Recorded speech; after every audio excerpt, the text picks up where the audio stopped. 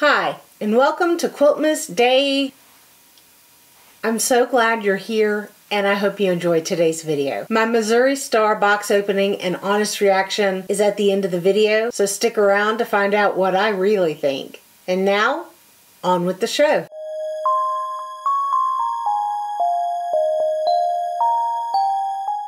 Okay, you've seen the sewing room, now let's talk machines. In the house, we currently have five sewing machines. Five. Six if you count the long arm, and Casey says I have to, so six sewing machines and a serger. We're not going to talk about the serger today. Haven't used it in 10 years, but there have been several more over the years, including a 1954 Singer Class 1591 that I still regret leaving behind when we moved, but I digress. I digress. Back to the present. First, I'll go through what I have and what I use and why, some pros and cons about each machine. Then I'll go through some questions to ask yourself and your dealer if you're looking for a new machine. First up, we have the New Home Janome Memory Craft 4000. This is the first computerized machine I ever bought and I still love it. It runs like a dream and it is just a delight. It is just, everything works beautifully. Now it belongs to Anna, who loves it as much as I do. Next is my Pfaff QE4, Quilter's Expression 4.0. As I was quilting more and more, I wanted a machine that had more space, maybe had dual feed, would cut my thread, and would sew faster. So I was holding this list of, you know, wish list in my head for months, just thinking about it. I went into the sewing machine shop to get something for the Janome and this machine was for sale, barely used. Somebody had traded it in, bought it, and then immediately traded it in for an embroidery machine. I walked out the door to the car. Casey said, Do they have what you need? I said, Yes, and then some.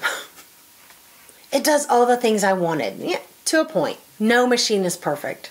The features I love on this Pfaff, the best thing is the hover feature. When you have it in needle down position, when you stop sewing, it lifts the presser foot just like an eighth of an inch so you can turn your work underneath it. And this is oh so nice. When you're doing machine applique or curved, well, curved anything.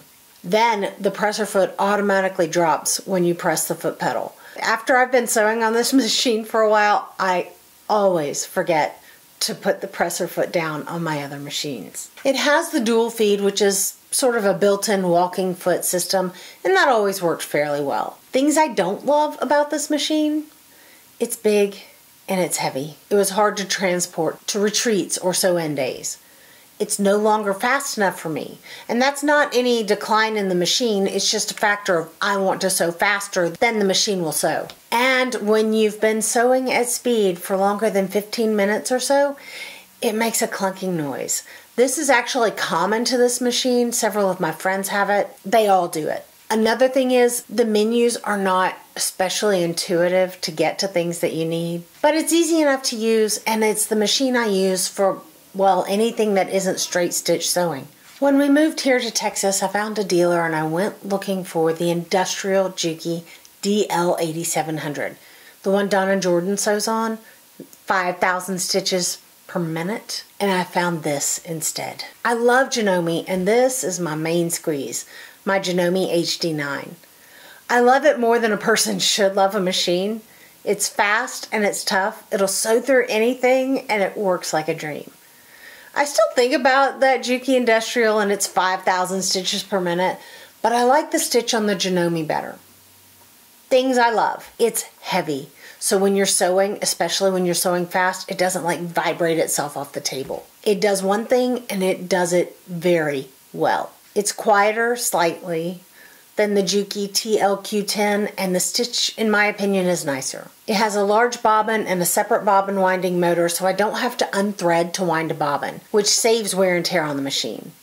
It's easy to clean and easy to get at all the parts. Things I don't love? It's heavy. It makes it hard to transport for sewing days or retreats or anything, and it's big. It has a non-standard bobbin size. Since I piece with the same color most of the time, it's not really a problem for me, but it might be a concern for someone else. That's it. That's all I don't like about it. The next machine is my Elna, which is a Janome machine underneath, travel machine. I had a Gem Gold, which I loved, but it got destroyed in the move. So when I needed a new portable machine, I got a closeout deal on this Elna. And Elna, it's Elna branded, but it's a Janome made machine. I looked at three machines, two brothers that were adorable and perfectly serviceable, but I chose the Janome with more features than I really need because because I can't see on the other two machines. This one had better light. It's perfect for what I wanted. It does, like I say, more than I more than I need it to, but it does what I need it to, which is allow me to carry it. Now I know you've seen it in the background, and I do have a featherweight. It's in need of some love from a vintage repair specialist right now, but it's lovely and it's a delight to sew on. It's quiet, it's tiny. I can use it in the living room when we're all watching TV, when it's you know, working properly, which is not now, sadly. But okay, y'all, listen closely because I'm going to spill some tea about the ever sought after beloved featherweight. You don't need it. It's not that special. I know, scandalous. But here's the truth Is it beautiful? Yes. Does it make me feel kind of fancy and like I'm part of a club? A little. But guys, it is slow. That's generally not my jam. And the bobbins, the bobbins are comically small, which is frustrating. I picked mine up for a song many years ago, like $125, guys. But I wouldn't pay what they're going for these days. It is charming, but I don't use it as often as I anticipated, and it's just, you know, it's not all that. But these are the machines that work or have worked for me and my needs currently and over the years. Now, when people ask me what machine I recommend, I never give them a straight answer. Hang with me, hang with me. I respond with questions, lots of questions. And these are the top questions I think you should ask yourself and your dealer when you're considering a new machine. Number one, why do you want a new machine? Is your old machine no longer working for you? Is it outside pressure and a feeling that your machine isn't good enough or won't do all the things you need? If your machine is already doing everything you need, don't buy a new one. If you've actually outgrown your machine and need a more advanced or perhaps a less advanced, simpler machine, then think about a new one. Number two, what is your realistic budget? Machines are an investment. You can spend anywhere from $100 to upwards of $20,000 on these machines. And you need to consider what you can really afford and stick to this budget. Don't be pressured into something more than you need. Considering a used machine in good working order can expand your options within your budget, but don't pay for features you don't need. And that leads into the next question What do you need? Number three, what do you sew? Do you only piece and bind? Maybe you want a straight stitch machine. Now, the new straight stitch machines are higher end and they're priced as such, but a vintage machine will sew like a dream. A 1590 or 91, they're classics. They're easy to pick up for a song. Take it to a repair shop, have the wiring checked, and you can buy new cords and foot pedals for these things. Some of those old foot pedals are a death trap, let me tell you. Learn to oil it and it'll run for a 100 years. They're easy to maintain, easy to use, most beautiful straight stitch ever. That is something in the featherweight's favor. But do you want to sew other things? Garments, bags, things like that. Do you need zigzag or other specialty stitches? If you need them or want them, then those features you need to look for on your machine. Do you want to quilt on this machine? Free motion or walking foot? Does it need one or will it take one?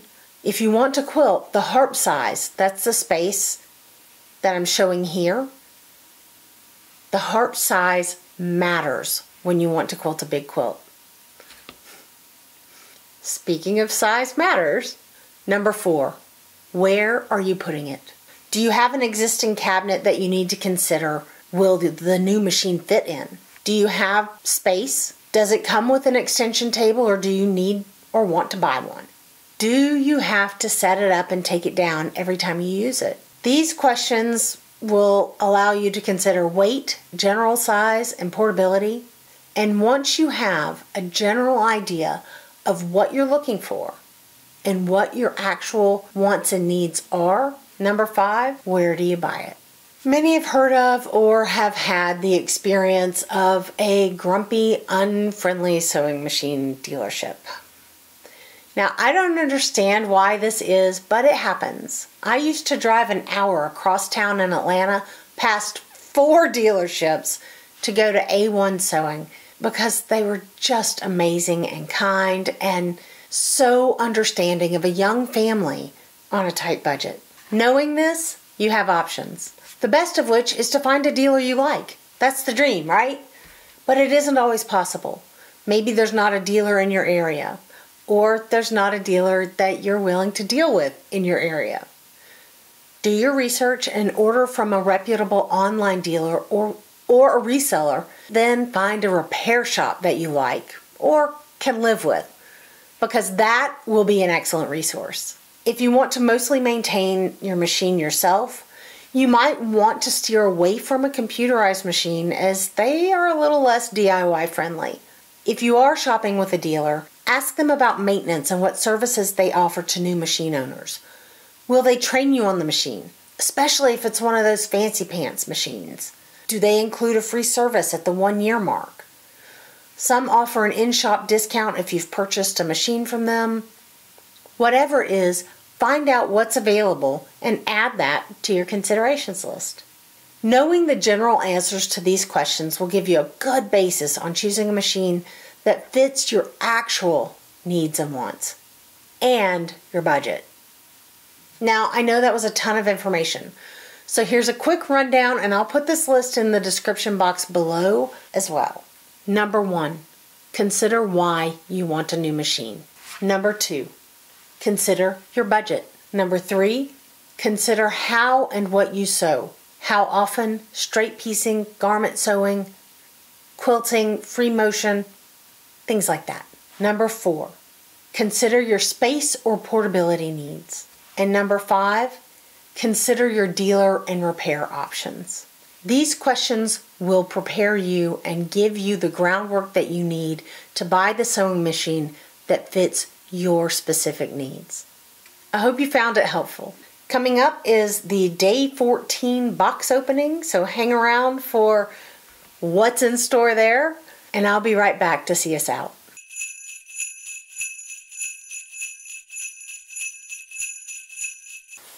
Quilty Advent Box, Day 14. Feels like charms again.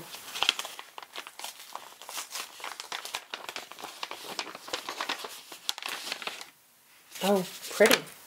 Wandering Ways by Stephanie Orga Organis, Organes for Andover Fabrics.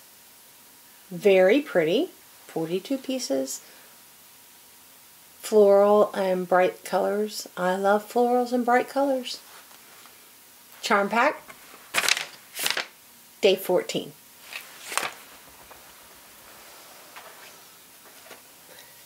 Thanks for hanging out with me on day 14 of Quiltmas. I am so glad you're here and I'm having a great time. If you're having fun too, please leave me a comment down below and tell me Hmm. Tell me what your dream sewing machine is. Is it one you already have or something still off in the future? While you're down there, like, share, subscribe, and don't forget that you make the world more beautiful just by being in it. I'm Amy, and I'll see you next time.